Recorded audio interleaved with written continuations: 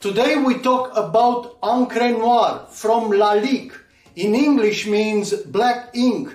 This is a vetiver fragrance, smells like wet wood.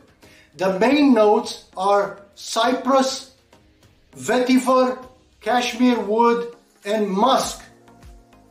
The projection it's about an hour and longevity it's about 7 hours. This is a very challenging fragrance.